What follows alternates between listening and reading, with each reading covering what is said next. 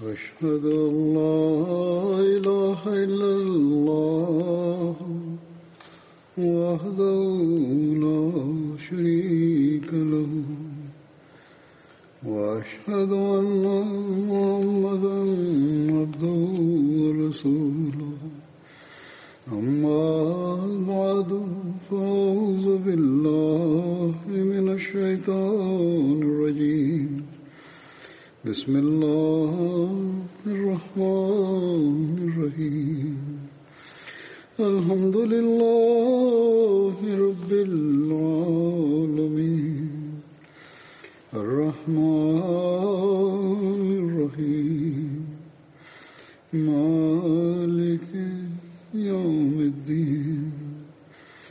إياك نعبد وإياك نستعين.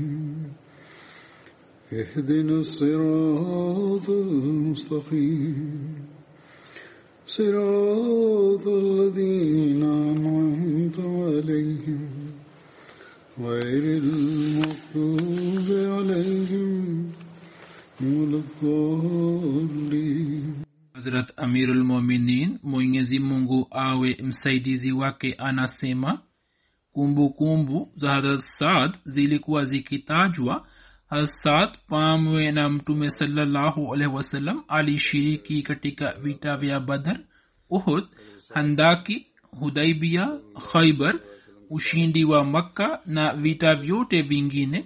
Alikuwa mmoja wa masuhaba wa mtume salallahu alaihi wasallam waliokuwa wataalamu wa urushaji wa mishale. Kuhusu hasad imeelezwa katika riwaya moja ya kwamba vita ambazo mtume salallahu alehi alizipigana katika vita moja akafikia hali ambapo hakuwa mtu yeyote pamoja naye isipokuwa talha na hasad hasad akieleza hali ya kujitokeza pamoja na mtume salallahu alaihi wasallam kwa ajili ya vita anasema tulikuwa tunatoka pamwe na mtume salallahu kwa ajili ya vita ilhali hatukuwa nacho kitu chochote chakula isipokuwa majani ya miti. Tulikuwa na hali mbaya kiasi hiki ya kwamba kila mmoja wetu choo chake kilikuwa kama kinavyokuwa kinyesi cha ngamia au kama yanavyokuwa mavi ya mbuzi yani kavu yasiyo na ulaini wowote. Katika riwaya nyingine amesimulia akisema ya kwamba katika siku hizi chakula chetu kilikuwa matawi ya mti wa babul unaokuwa na miiba mingi. Hasad alikuwa mtu wa kwanza aliyemwaga dhamu katika njia ya allah na ndiye mtu wa kwanza aliyerusha mshale katika njia ya mwenyezi mungu. Na tukio hilo likatokea katika vita vya hadrat ubaida bin haris. Maelezo yake ndiyo haya ya kwamba rabiul awal mwaka wa pili wa hijria ikatokea vita ijulikanayo vita vya hadrat ubaida bin haris mirza bashir ahmad saheb akieleza hali ya vita hiyo anaendika katika kitabu cha sirat khataman nabiyin ambayo sehemu yake nimekusha eleza hapo kabla bali nafikiri nikaeleza yote. Hata hivyo hapa pia naeleza kwa kiasi mwanzoni mwa mwezi wa rabiul awal mtume salallahu alaihi wasallam chini ya uongozi wa jamaa yake wa karibu ubaida bin haris mutalabi alikituma kikundi cha muhajirina wapanda ngamia sitini. Shabaha ya safari hiyo ilikuwa ya kudhibiti mashambulio ya makuraish wa makka. Hivyo ubaida bin haris na wenzake baada ya kumaliza hatua kadhaa walipofikia saniatul mara ambayo ni mahali palipo baina ya makka na madina. Na mtume salallahu alaihi wasallam wakati wa kuhamia madina alikuwa amepita eneo hilo masahaba hawa walipofikia eneo hilo wakakutana na vijana wawili wa kuraishi wenye silaha ambao chini ya uongozi wa ikrma bin abu jahal walikuwa wamepiga kambi.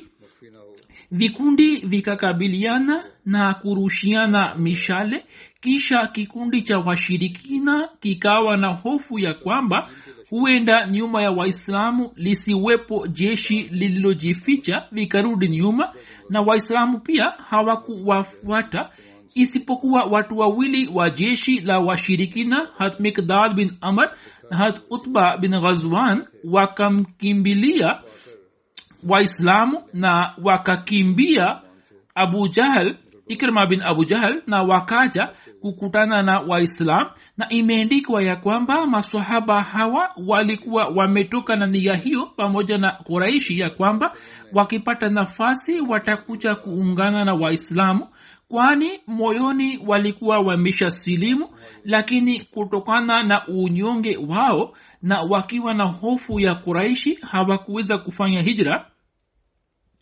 Jamaatiul ula mwaka wa pili jamaatiul ula mwaka wa pili wa hijra mtume salallahu alaihi wasallam alimteua hasal bin abi waqas kuwa amiri wa muhajirina wanane na kwa ajili ya upelelezi wa quraish akamtuma upande wa eneo la kharar ambalo ni eneo karibu na jofa katika hijaz. Watu hawa wakafika huko lakini hawakukabiliana na maadui kisha zipo kumbukumbu kumbu za vita vya harat abdullah bin jahash yani saria abdullah bin jahash ambayo ilikuwa imetokea jamadiul akhar mwaka wa pili wa hijra. Hasad pia alikuwa ameshiriki katika vita hiyo. Habari yake nimekushaeleza lakini kuhusiana na sirat khatamanabiyin naeleza hapa kwa kifupi mtume waalihi wasallam aliamua ili kuhusu harakati na mipango ya kuraishi upelelezi ufanywe kwa ukaribu zaidi ili taarifa muhimu za aina zote zinazowahusu wao ziwafikie kwa wakati na madina iweze kusalimika kutoka mashambulio yote ya ghafla. Hivyo kwa shabaha hiyo mtume salallahu alaihi wasallam akaandaa kikundi cha muhajirina wanane na kutokana na hikma fulani akawajumuisha katika kikundi hicho watu waliotokana na makabila mbalimbali mbali ya kuraish ili jukumu la kukusanya taarifa za mipango ya kuraish liwe rahisi na akamteua binamu yake hata abdullah bin jahash kuwa amiri wa kikundi hicho mtume salallahu alaihi wasallam wakati wa kukisindikiza kikundi hicho hakumwambia amiri wake ya kwamba mnatumwa wapi na shabaha ya safari yenu ni nini bali wakati wa kuondoka kwao akamkabizi mkononi barua moja iliyokuwa imefungwa na akasema kwamba humu kuna maagizo kwa ajili yenu. Mkimaliza safari ya siku mbili kutoka madina basi mufungue barua na sawa na amri mufanye. Na masahaba hawa walipomaliza safari ya siku mbili wakafungua barua ya mtume salallahu wasalam iliyokuwa na maneno yafuatayo nendeni katika bonde la nakhla lililo katikati ya makka na taif na mkifika huko kusanyeni taarifa za kuraishi kisha tujuluisheni pia chini ya barua alikuwa ameandika agizo hili ya kwamba baada ya kujua shabaha ya safari mmoja wenu akipata wasiwasi na akipenda kurejea basi aruhusiwe kurudi nyuma. Abdullah akawapatia wenzake agizo hilo na wote kwa pamoja wakasema ya kwamba kwa furaha zote tuko tayari kwa ajili ya huduma hii na hakuna yeyote atakayerudi nyuma. Kisha kundi hilo likaelekea nakhla njiani ngamya wa saad bin abi waqas na utba bin ghazwan akapotea nao katika juhudi ya kumtafuta ngamya huyo wakatengana na wenzao na pamoja na kumtafuta sana wakashindwa kumpata. Sasa watu hawa waliokuwa wanane wakawa sita nao wakaendelea kutembea. Kuhusiana na habari hiyo hamiza bashir ahmad sahib amemzungumzia mwanazuuni mmoja bwana margolis ambaye kwa mujibu wa riwaya zake amejaribu kuwashutumu hasad bin abi waqas na mwenzake akiandika ya kwamba saad bin abi waqas na utba walikuwa wamemwacha ngamia wao kwa maksudi na kwa sababu ya uzuru huo walikuwa wamebaki nyuma.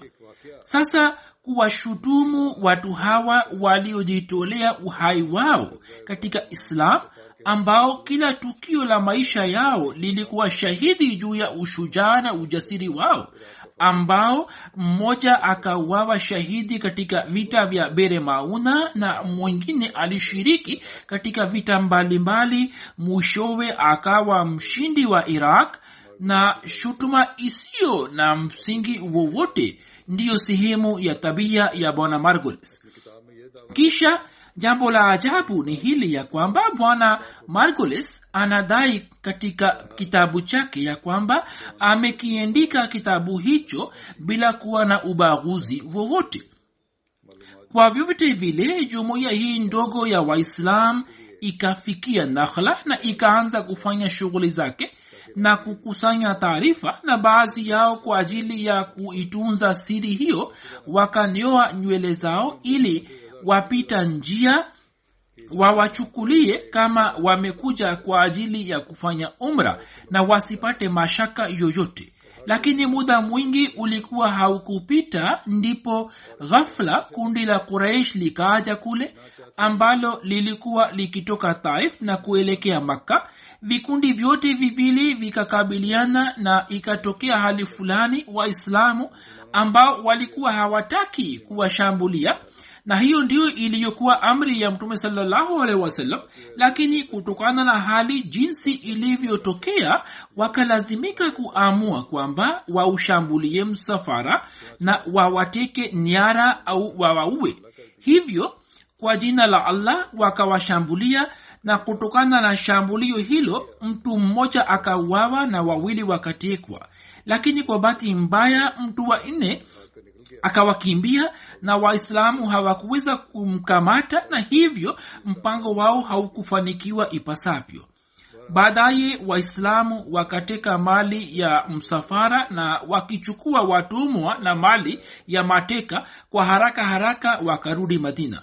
Mtume salallahu alipopata taarifa ya shambulio hilo la maswahaba akakasirika mno na akasema ma amartukum biqitalin fi shahri haram. Yani sikuwaruhusuni kupigana katika mwezi mtakatifu na akakataa kupokea ngawira huko makuraishi wakapiga kelele kwamba waislamu wamevunja heshima ya mwezi mtukufu na mtu aliyekuwa ameuawa alikuwa amr bin hazrmi ambaye alikuwa kiongozi wao. Katika muda huo makafiri ili waweze kuwakomboa wale waliokuwa wametekwa na waislamu wakafika madina. Lakini kwa kuwa harat saad bin abi waqas harat utba bin ghazwan raziallahu anhuma walikuwa bado hawajarejea na mtume salllahu alaihi wasallam alikuwa na wasiwasi kuhusu masahaba hawa kwamba ikiwa wakikamatwa na kuraish basi kuraishi hawatawaacha salama.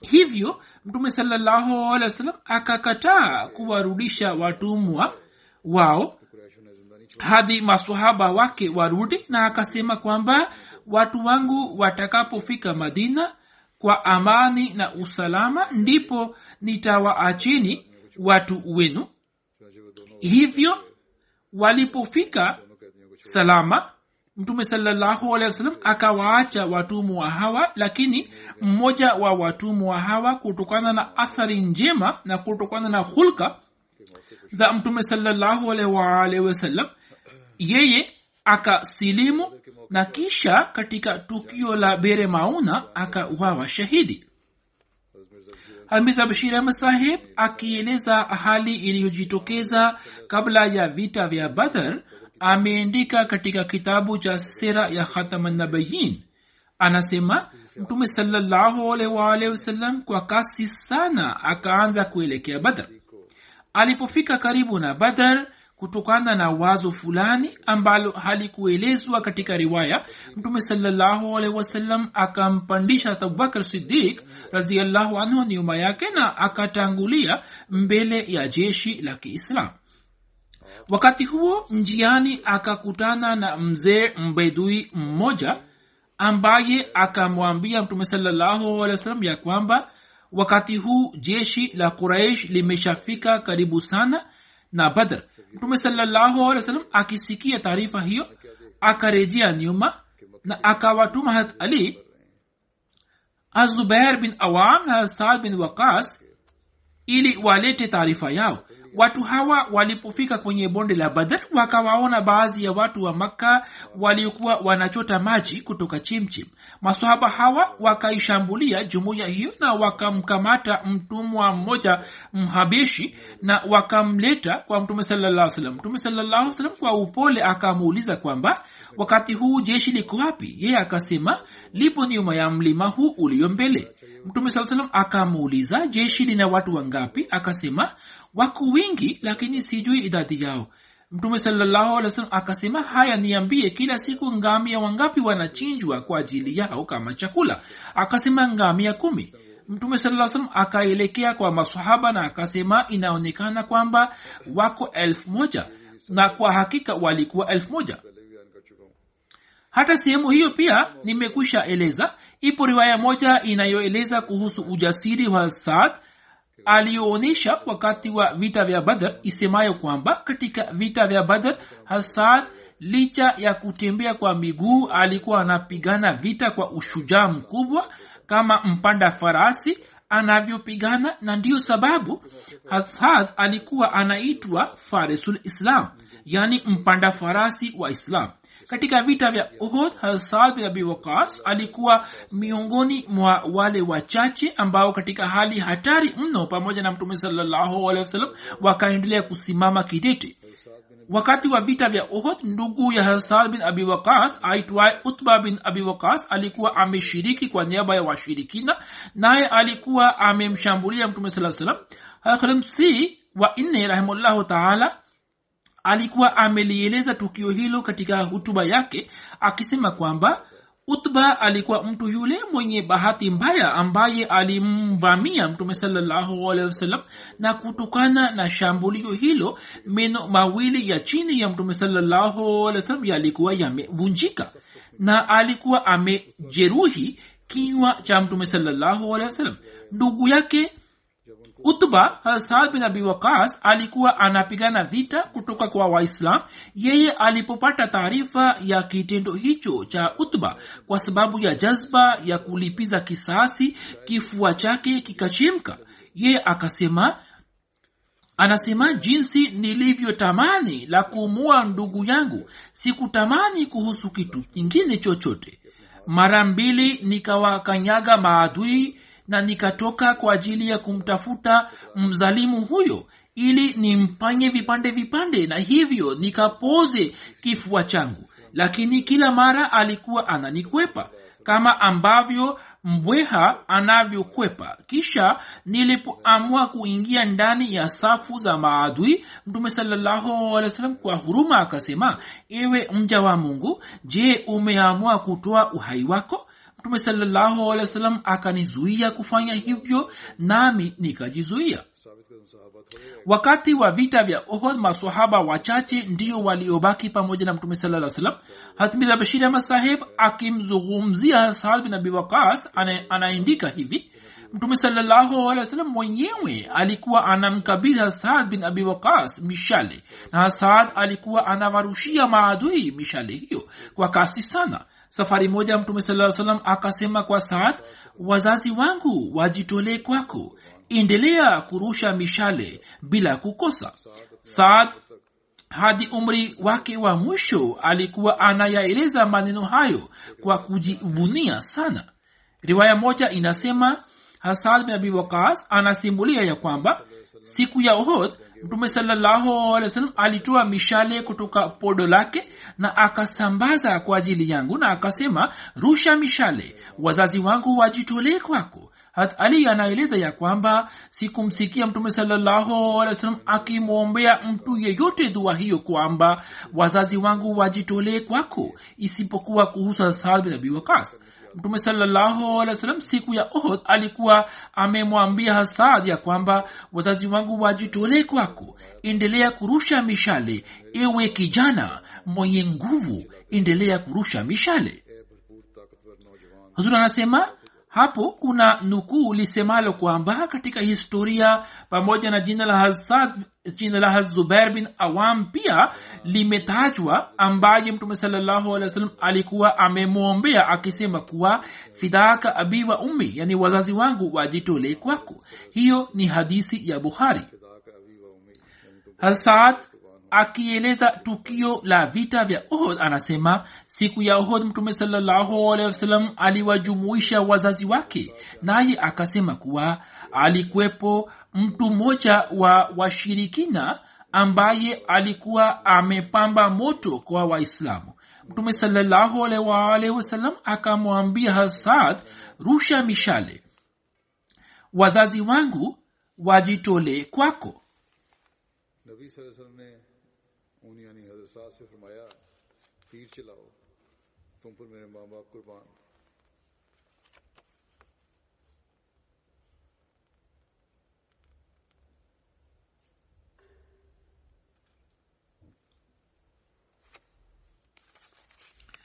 hasad anasema kisha nikamrushia mtu huyo mshale ubavuni ambao haukuwa na incha yake naye akafa na akawa uchi. Hapo mtume sallahualwasalam akatabasamu.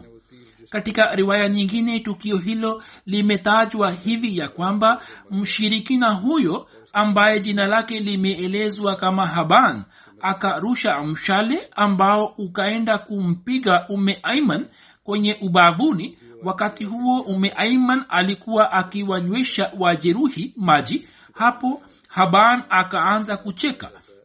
Mtume sallahualwasalam akampatia saad mshale mmoja. Mshale huo ukarushwa na ukaenda kumgonga haban kwenye hulkumu yake naye akaanguka nyuma na kwa sababu yake akawa uchi. Hapo mtume sallahualwasalam akatabasamu. Khalifa mtukufu anasema kwamba hadisi hii ya sahih muslim iliyoelezwa hapo juu kuhusu hadisi hiyo nur foundation imeitafsiri na imeendika kama nyongeza ya kwamba furaha hii ya mtume wa ilikuwa imetokana na hisani hii ya mwenyezi mungu ambaye akamua adui hatari kwa kupitia mshale ambao haukuwa na ncha yake. Kwa mujibu wa riwaya moja siku ya vita vya ohd hasad alikuwa amerusha mishale elfu moja wakati wa kufunga mkataba wa suluhu wa hudaibia masahaba waliotia saini kama mashahidi hasad bin abi waqas alikuwa mmoja wao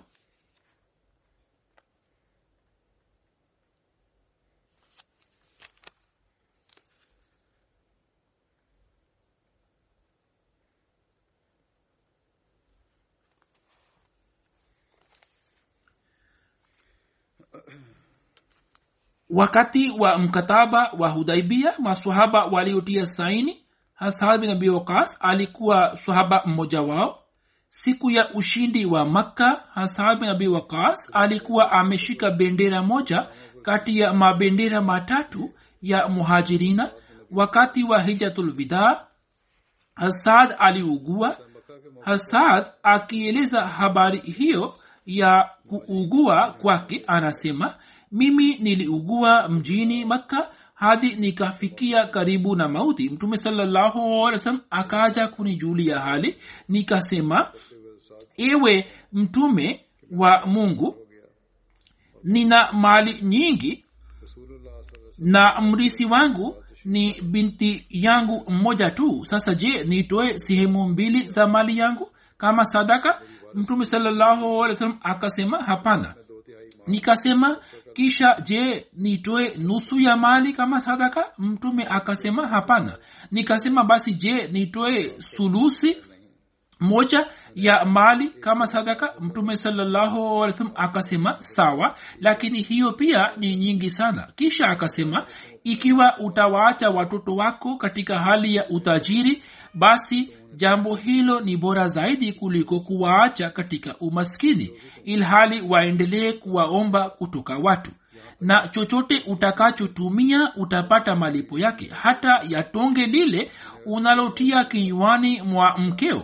Nikasema ewe mtume wa allah je nitabaki nyuma katika hijra yangu mtume salallahu akasema hata kama utabaki nyuma hata hivyo kitendo utakachokifanya kwa ajili ya kupata razi ya allah kitakupandisha katika daraja na cheo nami nina imani ya kwamba wewe utaishi baada yangu na pia akasema kwamba mataifa yatajinufaisha kutoka kwako na baadhi ya watu watapata hasara katika riwaya nyingine imeandikwa hivi ya kwamba mtume sallahualwasalam akafanya maombi haya akisema kwamba ewe allah uwatimizie masahaba zangu hijra yao na usije ukawarudisha kwa visigino vyao.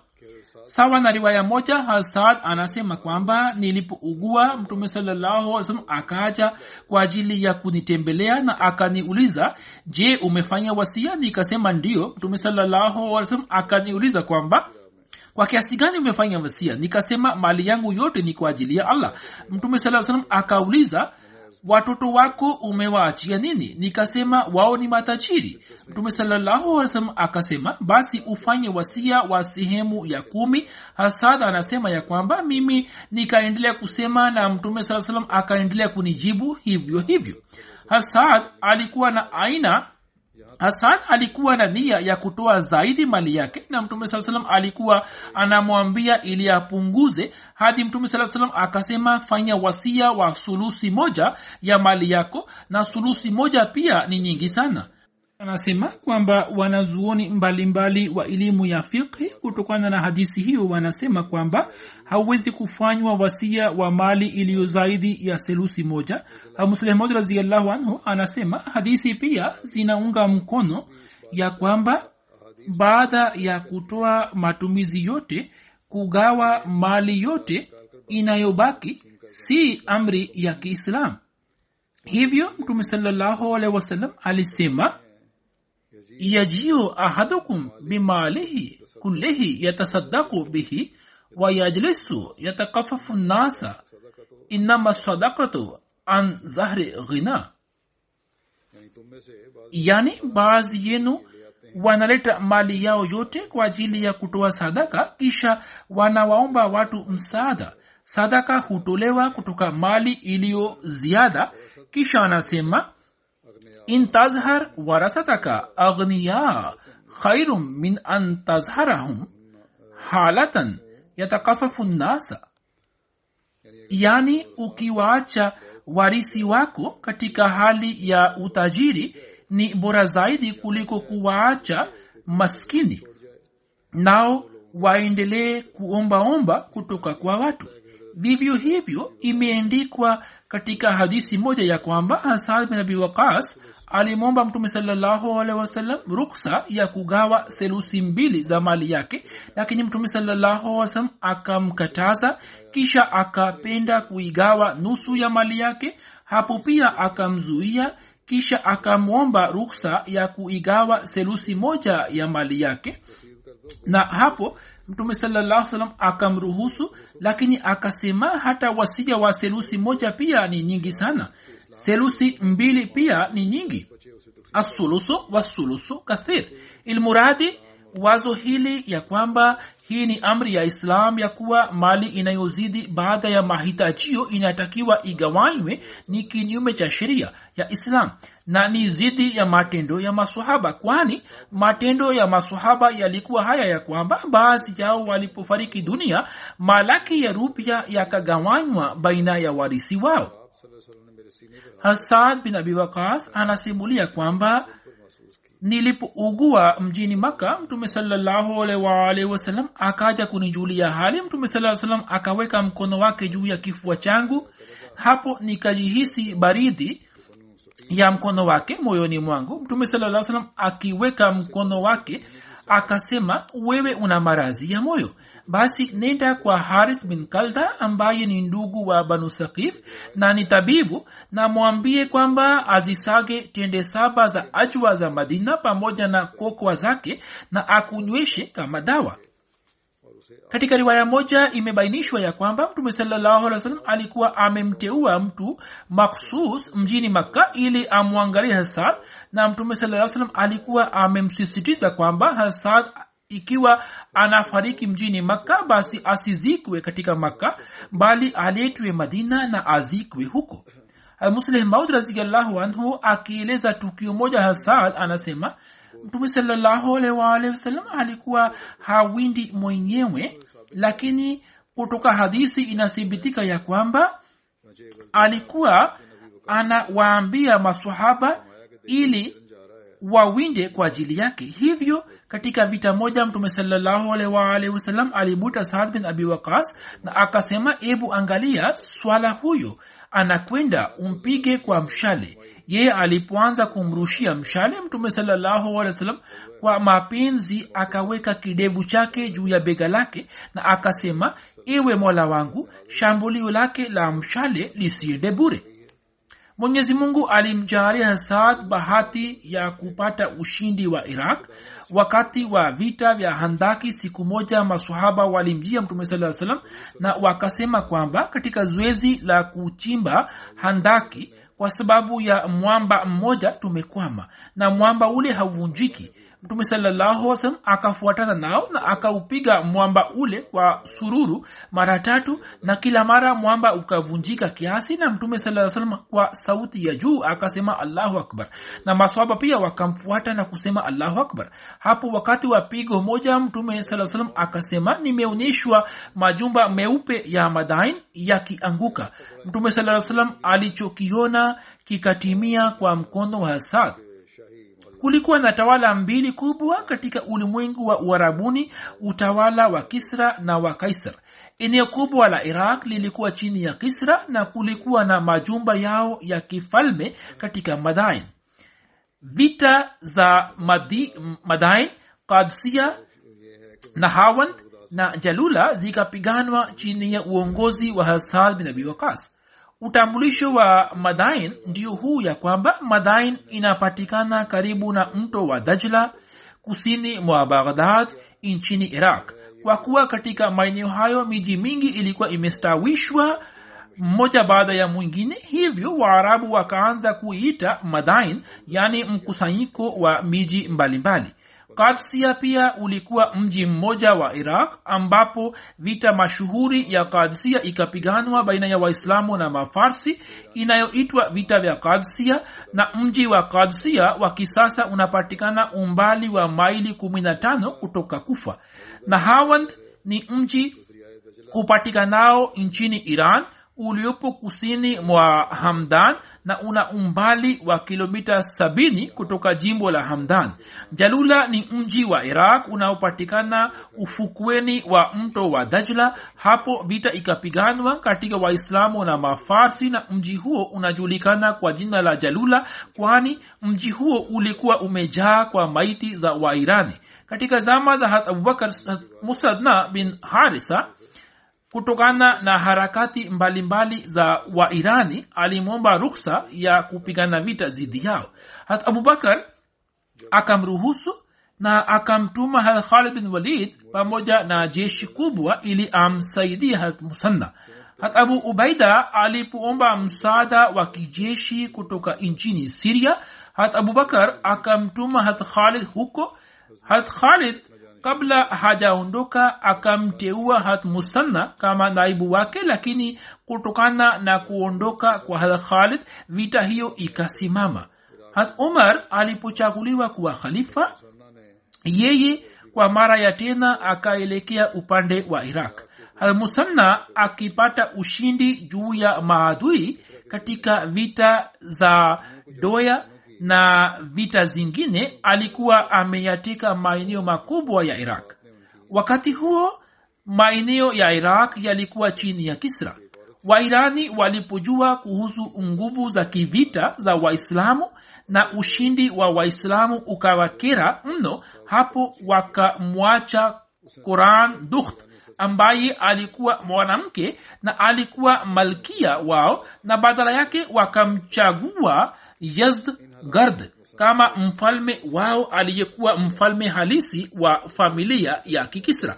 Mfalme huyo mara baada ya kuchaguliwa kwake akakusanya nguvu zote za utawala wa kiirani na akawachochea watu wa nchi nzima dhidi ya waislamu. Katika hali hiyo musanna akalazimika kuacha mipaka na kurudi nyuma. Hat umar alipopata taarifa ya matukio hayo akawasambaza wahadhari akawasambaza wahaziri wenye jazba katika nchi nzima na akawashawishi waislamu ili wajitokeze dhidi ya kisra. Matokeo yake yakawa haya ya kwamba waarabu wakapata jazba na kutoka kila upande waislamu wakajitokeza kwa ajili ya kupigana jihadi na wakakusanyika katika makao makuu. Hat umar akashauriana kwamba nani apatiwe uongozi wa vita hii kwa mujibu wa mashauriano ya watu hatomar mwenyewe akawa tayari ya kuwa kiongozi wa vita lakini kwa sababu ya rai za harat ali na masohaba wengine wakubwa akabadilisha nia yake. Kisha jina la said bin zaid likapendekezwa wakati huo huo. Abdurahman bin auf akainuka na akasema ewe amirulmuminin nimempata mtu anayefaa kwa ajili ya vita hii. Hat umar akasema ni nani huyo hata abdurahman bin auf akasema huyo ni hasad bin abi wakas kisha watu wote wakafikiana juu ya jina lake na umar akasema innahu rajulun shujaun raun. Yani huyo ni mtu shujaa mno na mrushaji hodari wa mishale. Musanna alikuwa anamgojea hasad kwenye eneo la zikar lililopo baina ya kufa na wasat pamoja na wanajeshi elfu nane hapo akatangulia mbele ya haki naye kabla ya kifo chake akamteua ndugu yake hatmuanna kama mkuu wa jeshi. Hatmuanna sawa na agizo la nduguye akakutana hasad na kumfikishia ujumbe wa hazrat hasad akakagua jeshi lake ambalo lilikuwa jeshi lenye watu takriban elfu thelathini hasad akalipanga vizuri jeshi lake na akaligawa jeshi katika sehemu mbili za kulia na kushoto na akawateua maafisa mbalimbali na akasonga mbele na kuzunguka kadsia. Vita vya kadsia ikatokea kwenye mwaka wa kumi na sita wa hijra. Idadi ya makafiri ilikuwa laki mbili elfu themanini na walikuwa na watembo thelathini katika jeshi lao. Rustam alikuwa analiongoza jeshi la kiiran hasad akawaita makafiri ili wakubali islam na kwa ajili ya kazi hiyo akamtuma hat mughira bin shoba rustam akawaambia ya kwamba nini mmefilisika na haya yote mnayoyafanya mnafanya kwa ajili ya kuondoa umaskini wenu. Sisi tutawapatieni mali nyingi kiasi kwamba mtashiba vizuri almughira akamjibu sisi tuliitikia wito wa mtume wa mungu nasi tunawapatieni mwaliko wa kumwamini mungu na mtume wake.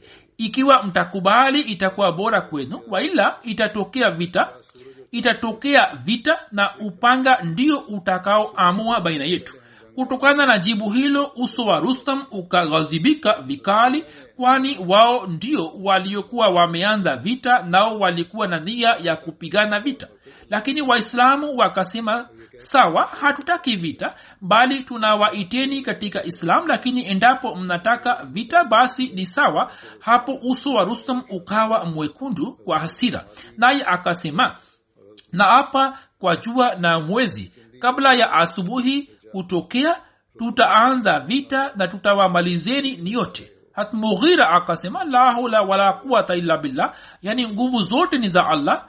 Na akisema hayo akapanda farasi yake. Hasad akapata ujumbe wa hat umar ya kwamba kwanza muwaite katika islam. Hivyo hasad akawatuma mshairi maarufu na mpanda farasi hat amar bin madi karib na hazrat ashash bin qais kindi pamoja na msafara huo. Wakakutana na rustam naye akawauliza mnakwenda wapi? Wakasema tunakwenda kukutana na mkuu wako. Watu wa msafara huo wakasema mtume wetu salaa ametuahidi ya kwamba sisi tutateka maeneo yenu.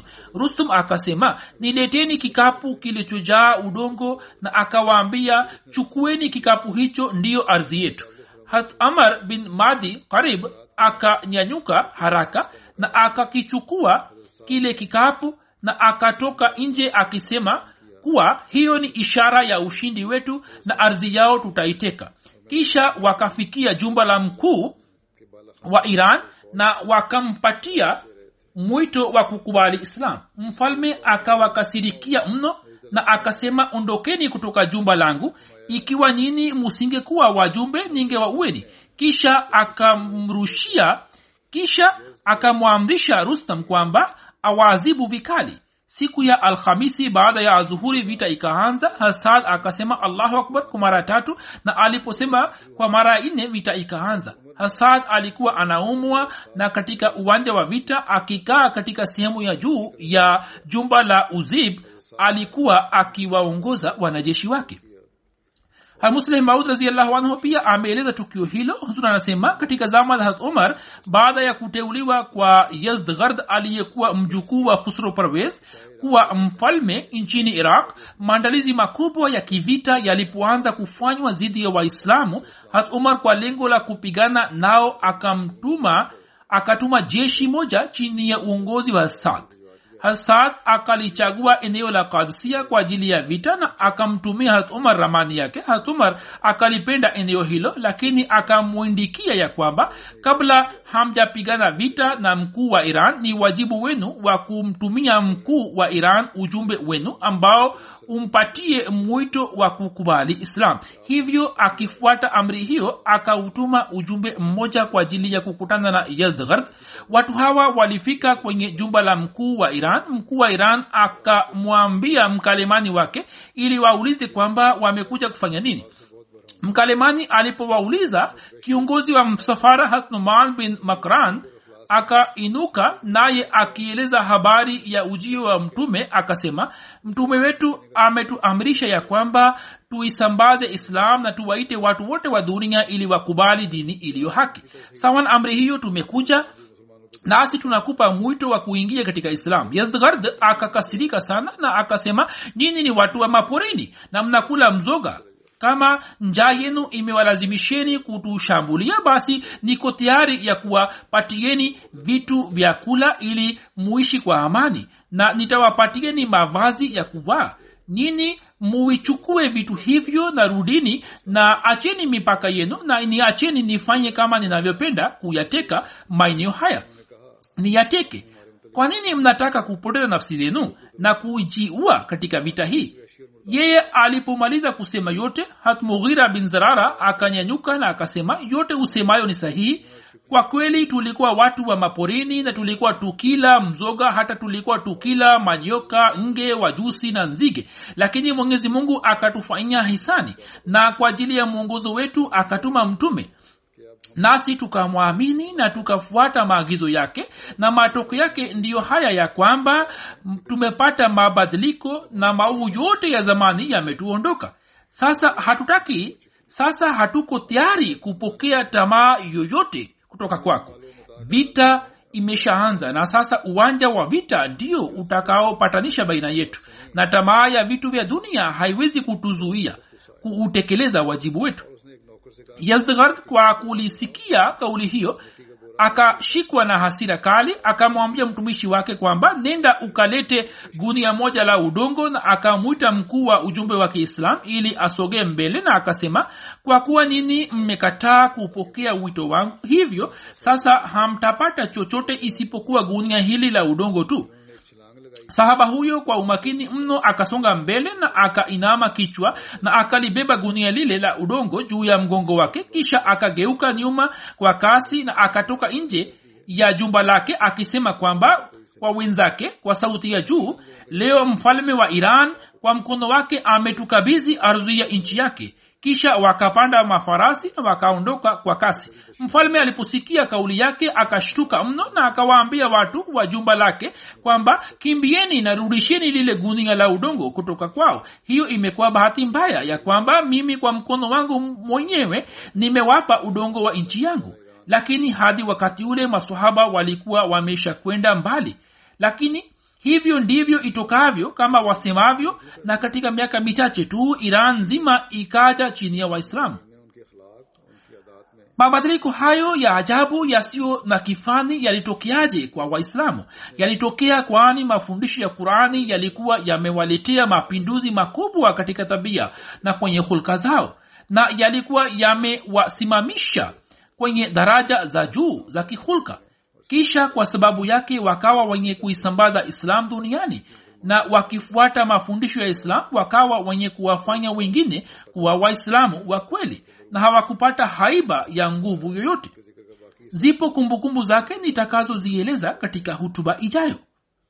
Huzur amesema kwamba leo pia nitasalisha sala ya baadhi ya jeneza ghaibu na jeneza la kwanza ni la bi bushra akram sahiba mke wa muhammad akram bajwa sahib nazir talimul quran wakfi arzi pakistan ambaye tarehe 25 machi 2020 akiwa na umri wa miaka 66 alifariki dunia. Inna lillahi wa inna ilaihi rajiun. Wakati ule kutokana na hali jeneza lake halikusalishwa marehemu alikuwa musi amewaacha nyuma yake watoto wawili wa kiume na binti mmoja.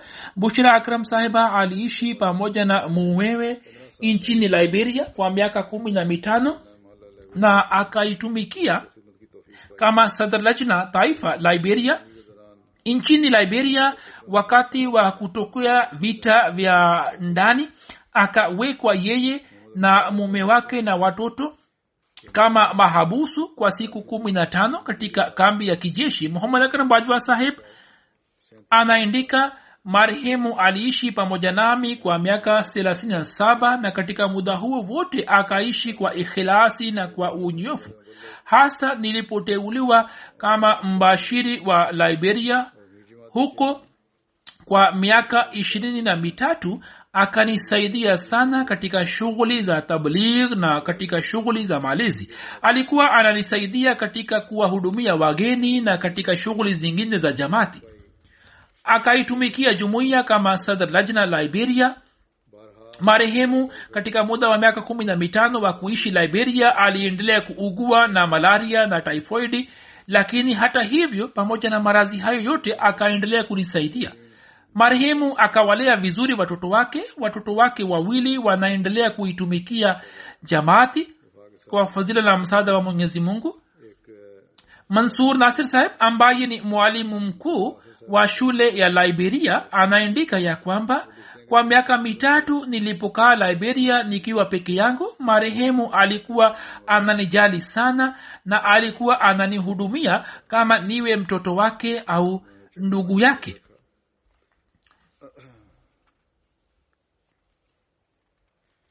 mwenyezi mungu awafanye watoto wake wawe warisi wa maombi yake na waweze kuendeleza mema yake na mwenyezi mungu amghufirie na amrehemu.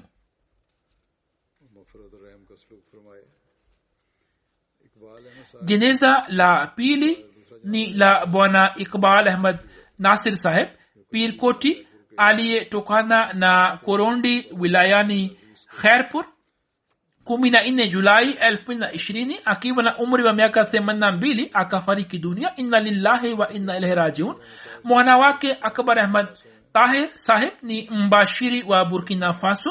Naye anasema kwamba baba yangu alikuwa mwana wa mia nur muhammad saheb sahaba wa almasihi maud wassalam na alikuwa mjukuu wa mia imam din saheb na mpwa wa mia pir muhammad na hafiz muhammad ishaq ambao wote walikuwa masahaba wa sayidina ahmad alahsatuwassalam marehemu alikuwa anashiriki vizuri katika shughuli mbalimbali za jamaati akaitumikia jumuiya kama katibu wa fedha kwa muda mrefu na pia akawa zaim ansarullah. Alikuwa imamu salat na pia akaitumikia jamaati kama murabi atfal anasema kwamba nilipokuwa mtoto nikamwona baba yangu akiwa anatunza fedha katika kasanduku kadogo. Nilipomuuliza akaniambia kwamba naiweka fedha ya mchango pembeni kwenye sanduku ili kwa wakati niweze kulipa mchango wangu alikuwa anafanya mahubiri kwa shauku na kwa jazba sana na kwa kumpitia yeye watu wengi wakajiunga na jamati alikuwa mwenye kufanya maombi mengi mwenye kuswali sala na sala ya tahajudi bila ya kukosa mwanawake alikuwa nchini burkina faso anasema mwaka 216 alikuja burkina faso na akaishi pamoja nasi katika muda huo mikutano na istimaa zilizofanyika huko nchini. Marehemu akashiriki kwa shauku kubwa na alikuwa anapiga takbira na alikuwa amefurahi sana. Amewaacha mke watoto watatu wa kiume na mabinti watatu. Amir na mbashiri mkuu wa burkina faso anaandika ya kwamba marehemu alipokuja burkina faso kwa kuwa alikuwa hajui lugha ya hapa ambayo ni kifaransa lakini hata hivyo kila mmoja alikuwa anaelewa lugha yake na alikuwa anaelewa lugha yake ya mapenzi na upendo naye alikuwa anakutana na watu kwa upendo mkubwa. Juu ya kifo chake wanajumuiya wa burkina faso wameeleza masikitiko na majonzi yao. Katibu wetu wa ishad aliweka picha yake kwenye mtandao na akasema kwamba marehemu nilikutana naye alipokuja burkina faso. Kwa kweli marehemu alikuwa mwanajumuiya imara na mwaminifu mkubwa. Mwenyezi mungu amghufirie na amrehemu na awajalie watoto wake wawe warisi wa maombi yake. Mwana wake ambaye ni mbashiri hakuweza kushiriki katika mazishi yake. Jeneza la tatu ni la bi ghulam fatuma sahiba mke wa muhammad ibrahim sahib wa mulia jata wilayani kotli azad kashmir kumi na nane julai elfu mbili na ishirini akiwa na umri wa miaka sabini na mbili baada ya kuugua kwa muda mrefu alifariki dunia. Inna lillahi wa inna ilaihi rajiun mwaka 1944 baba yake alikuwa amejiunga na jumuiya ambaye jina lake lilikuwa nek muhammad maarufu kama kale khan. Na kabla ya kufanya baiati alikuwa ameiona ndoto ya kwamba amekwenda kumkutana na mzee mmoja. Anasema nilipomwona mzee huyo nikamkimbilia na nikamkumbatia mzee huyo akaniambia kale lini utakuja kwetu? Mimi nikasema nimekuja tayari. Kisha nikaiona picha ya khalifatulmasihi wa pili raziallahu anhu na nikamtambua na nikasema kwamba huyu ndiye niliyekuwa nimemwona katika njozi yangu na kisha akafanya baiati kwa, jin, kwa njia ya barua.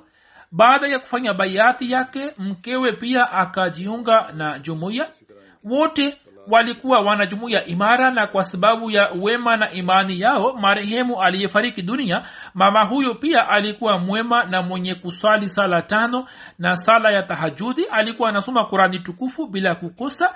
Watoto wake mara nyingi walimwona akiwa amesujudu mbele ya mwenyezi mungu huko analia machozi.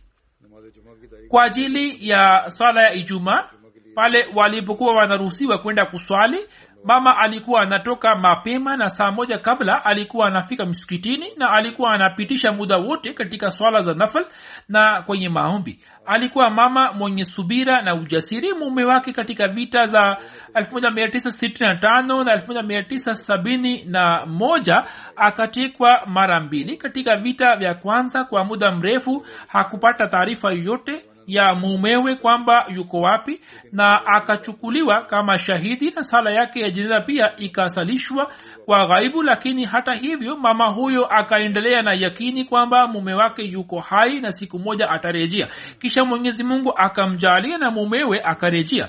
Marehemu amewaacha nyuma yake mume wake bwana ibrahim saheb na watoto wanne wa kiume na mabinti wawili watoto zake watatu wametoa maisha yao wakfu na muhammad javed saheb anaendelea kuitumikia jumuiya nchini zambia kama mbashiri. Hakuweza kwenda pakistan na kushiriki katika mazishi ya mamake.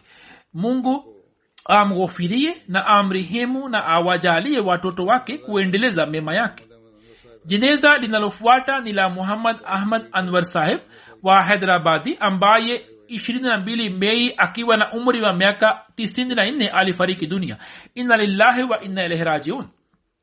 Katika familia yake jumuiya ilipatikana kwa kumpitia babu yake shekh daud ahmad saheb baba yao aliwatuma watoto wake muhammad ahmad sahib anwar na majid ahmad sahib kadian kwa ajili ya masomo. Marhimu alipata bahati ya kutoa azana akiwa amesimama juu ya minaratulmasih muhammad ahmad sahib alikaa pamoja na khalifa khalifatulmasih wa pili na baada ya uhuru kutokea baina ya pakistan na india pamwe na khalifatulmasih wa pili akaja rabwa kisha akafanya kazi ya uderewa kwa khalifatulmasih wa tatu.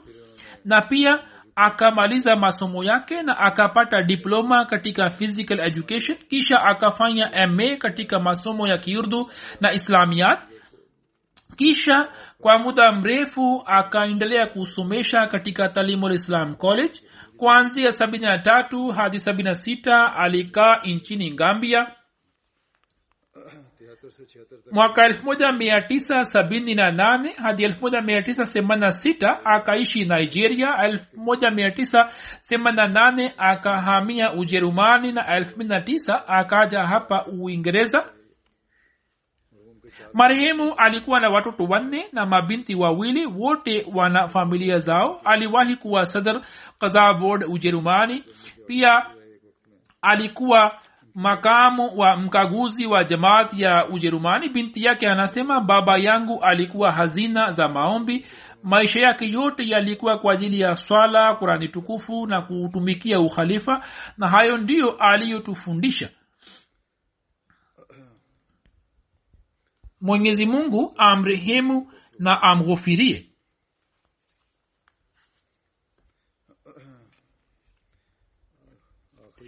jeneza la mwisho ni la bwana salim hassan aljabi saheb wa siria ambaye juni thelathini akiwa na umri wa miaka tisini na mbili alifariki dunia.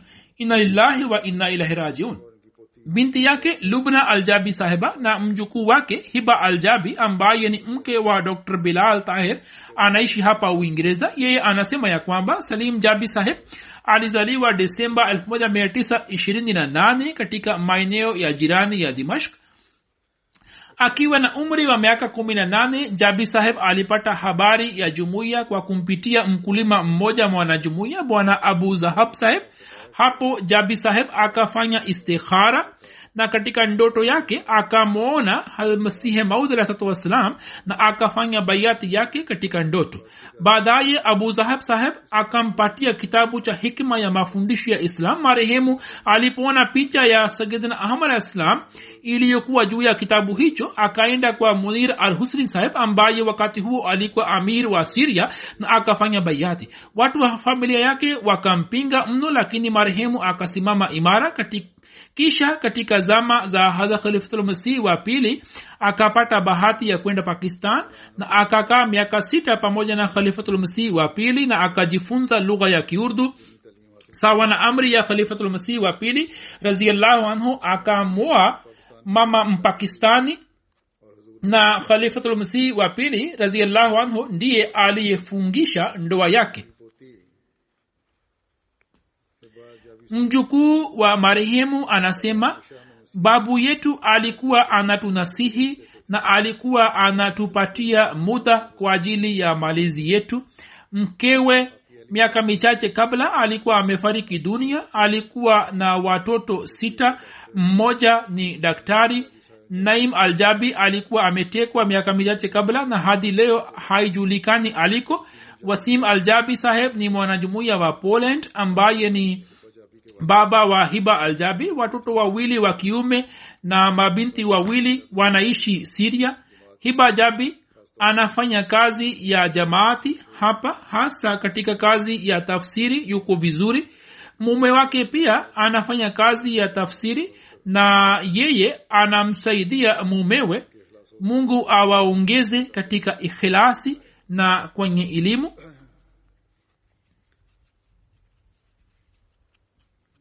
binti yake lubna abdul khabir aljabi anasema marehemu alikuwa anatuzuia kufuata bidhaa na alikuwa anatunasihi kushikamana na mwenyezi mungu. Alikuwa anatumia sana juu ya watu maskini kwa kumpitia marehemu watu wengi wa siria na labnan wakajiunga na jamaati ambao baadhi yao walikuwa wakristo.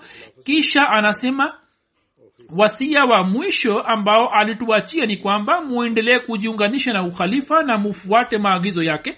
Musiwe wavivu katika tabligh na muda wote mutumie silaha ya maombi katika shughuli zote za msingi na msijali zulma yoyote katika njia ya haki.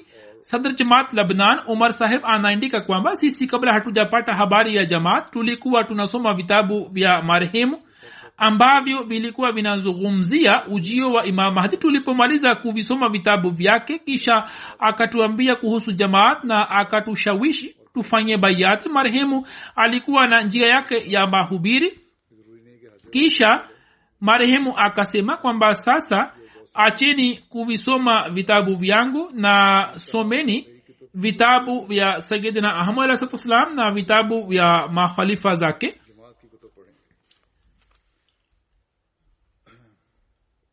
sadr sahib anasema kwamba sisi tulio wanajumuiya wa mwanzoni wa labnan tulifanya bayati kwa kumpitia marehemu nasi tuna enzi hisani yake na tunamshukuru na tunamwombea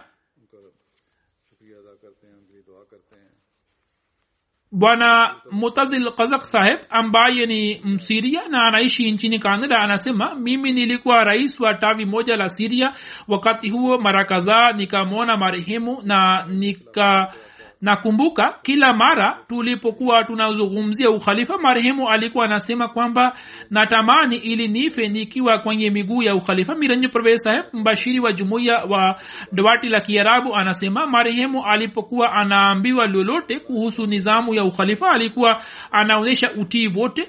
Elfu mbili na kumi na moja marehemu alikuja kushiriki katika jalsa sala na uingereza na alikuwa anasema kwamba natamani kwamba nife hapa nikiwa karibu na ukhalifa. Watu wengi wame walijiunga na jamaati kwa kumpitia jabi saheb na wengi wao ni wanajumuya wazuri wenye imani. Wengi wameniindikia barua na wamesema kwamba tumejifunza mengi kutoka kwake. Jabi saheb alikuwa anasema ya kwamba maulana ghulam rasul rajiki saheb alikuwa ameniambia ya kuwa ukitafsiri kitabu changu cha hayati kudsi ili waarabu wapate kujua kwamba masahaba wa salam walikuwa watu wa namna gani. Hivyo akakitafsiri kitabu hicho cha hayati kudsi kiarabu kilikuwa kilugha yake lakini akajifunza kiurdu na kifarsi na kiingereza. Elfu mbili na tano nilipoenda kadian kwenye jalsa nilikuwa nimekutana naye huko. Kisha alikuja kukutana hapa kwenye jalsa ya uingereza. Marehemu alikuwa mnyenyekevu mno na akaniambia kwamba nina imani kamili juu ya ukhalifa wa kiahmadia nami nina utii kwa nguvu zote. Nifanyie maombi na ili niendelee kujiunganisha na nizamu ya jumuiya mungu awajalie watoto na wajukuu zake ili waendelee kuonyesha ikhilasi hiyo hiyo na amghofirie na amrehemu. Sasa baada ya sala ya ijumaa kama nisemavyo au labda nilikuwa sikusema lakini baada sala ya ijumaa nitasalisha sala ya jendeza zao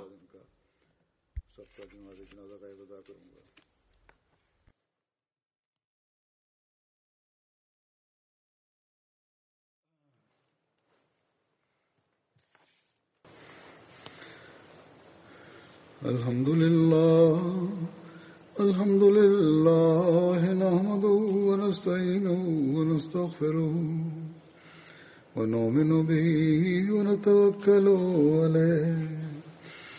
ونعوذ بالله من شرور أنفسنا ومن سيئات أعمالنا. من يهده الله فلا مضل له ومن يضلل فلا هادي له. ونشهد أن لا إله إلا الله. ونشهد أن محمدا عبده ورسوله. عباد الله رحمكم الله. إن الله يأمر بالعدل واللسان وإيتاء ذي القربى. وينهى عن الفحشاء والمنكر والبغي. يعظكم لعلكم تذكرون. اذكروا الله يذكركم وادعوه يستجب لكم ولذكر الله أكبر.